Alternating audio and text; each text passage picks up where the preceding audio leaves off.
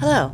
For this video we're going to go over how to saw using a jeweler's saw and I'm going to demonstrate on, this is actually um, laminate countertop samples but it's the same whether you're doing something like that or if you're doing um, a cut metal piece with 18 to 20 gauge um, metal as well. Anything much thicker than 18 gauge you may have to, change a little bit or anything much thinner than 20 but we work primarily with 18 to 20, so that's going to apply to the same thing. Um, again, this is just um, a sample from a countertop tile, and we had a bunch donated, so that's what I'm going to use for this particular example. Tools that you need for this, you need to have a jeweler saw, and jeweler saw, and we're going to also need a jeweler's saw blade, and with the saw blade, there's another video on just stringing um, the saw blade, but this is pretty much how to attach that or put that saw blade in. You want to make sure that the teeth, they're very tiny, but they need to be going, pointing out and down. Tighten the first clamp, and then you press in so that you make the distance between the parts narrower. So you press in on the handle, and I see I've got it on the table there. So I'm going to narrow that gap and it should make a high-pitched twang when it's plucked. So that's that's my strong saw blade. Um, if you are needing to cut out an inside shape, for example on this one, that inside of that feather is cut out. If you're needing to do something like that, you actually need to drill a hole in the inside pierced area and then you would string your saw blade through that hole and then tighten it and then you would you do the rest of the steps. So you'd have to string that through there. If you don't drill a hole first you have to cut through the side and then it's no longer pierced. It's just kind of a little inlet. So I'm going to go ahead and string my blade because I've already cut that piece out. I'm going to cut another contrasting piece because this is going to be layered. So this is another piece of tile that was donated to me and I'm going to take my my drawing. This is what I'm cutting. And this particular piece, I need to cut the very outside edge of the black shape. And for this, I need to attach it, and I want to make it so that I'm able to get the, um, the most out of the tile possible. Straight up and down, it's going to go off. It's too large. But I'm going to rubber cement on the back. Rubber cement, I think is preferable to glue stick because it just rubs off, but do you need to be careful if you're working with younger folks that um, may not think about their safety and make sure nobody um, breathes that in. I need to shift that until I can get all of it, so I can kind of fold that over so I can see. You can also hold it up to the light, which doesn't work for this video, but if you hold it up toward the light, you can see through and make sure that it's going to fit on there. If you've got a particular um, metal piece or tile piece that has a particular design, you may want to put that piece over that area that you really like.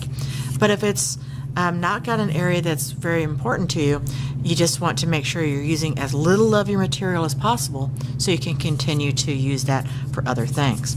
So I'm going to let that set up there just a little bit and I'm going to set up my other tools for it.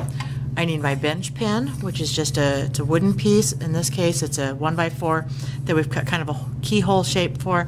If you're working with very small things, you may need a smaller bench pin. And I'm going to C-clamp that down, so I also need a C-clamp. And we're going to loosen that just a little bit. I'm going to C-clamp that bench pin down. Need to make it nice and secure so that it doesn't just flip off of there. And then I also need a piece of wax. In this case, I'm going to use a, a piece of old candle. I've got my string, or my, my strong saw blade, and I'm going to take the wax over that blade so that I lubricate that blade so it makes it less likely to snag. And then my piece that I'm cutting, I put over that, um, the, the two points that come out, I want to have that kind of straddle it, so across both of those. When you're sawing, it's helpful to have a lower chair or stool. You don't want to sit really high looking down because you tend to angle your blade too much. You want to be able to hold your saw more straight up and down. You don't want to have a death grip on your saw um, because that's just going to make your hand really tired and not be very helpful.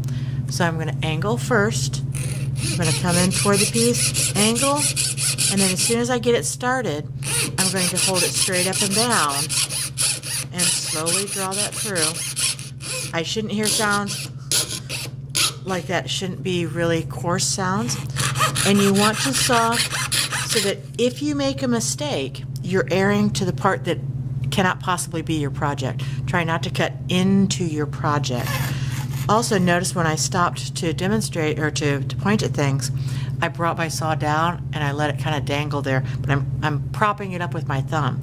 I don't want to do anything um, to make a sudden movement that will crack or break my saw blade in half. Again, long full draw, and then you continue to go around there. I'm going to back it up so that I can do the other side. If you need to go very far, you've got to be careful. You may not want to actually drag it through there. You may just want to loosen your saw blade, take it out, restring your saw blade. So I'm not going to, to demonstrate cutting the entire piece. I'm just going to do part of it. So I'm going to come in from the other side so I can show you how to make turns. Um, so I'm going to come in and I want to turn right there. So if I want to turn, I need to go bring my saw blade up and down while I'm turning it and I'm not moving forward. So if you think of it as like a person getting ready to march up and down while turning, marching in place, and then once you turn the direction you want, then start moving forward. Make sure you're not getting your finger right next to the saw blade. That's going to not be a pleasant experience for you. Now I'm kind of sawing in a wrong direction, so I want to turn that. Again, I want to keep that braced, straddling the wood. If you cut into the wood a little bit, that's okay. So again, I want to, if I need to change directions, I just release my metal a little bit, turn it, release it with my, my left hand. If it starts getting caught a lot, you want to go back, put more wax on it. It's better if you don't talk while sawing. You tend to move when you don't mean to and look away. So here again, I'm at a corner, up and down while turning it, and then moving forward again. You get used to the sound, by the way.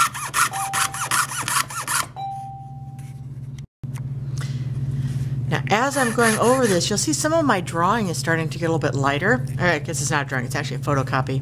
You want to make sure that you're not trying to do this on a drawing that is just done in pencil. It should be either in ballpoint or really fine Sharpie or other fine drawing marker, or a photocopy works as well. Um, you need to have the drawing exactly the way you want the final piece so that you are cutting right on that illustration.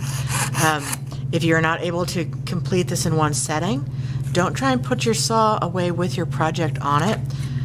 Again, loosen, bring it all the way down, loosen your saw blade, remove it from the clamp so that you're able to take that off of there. Okay, so I've not completely cut that out. I've cut part of it, and the next time I start, I could start from a different spot if I want to. I don't have to retrace my steps. I can just come into a new spot. I hope that helps.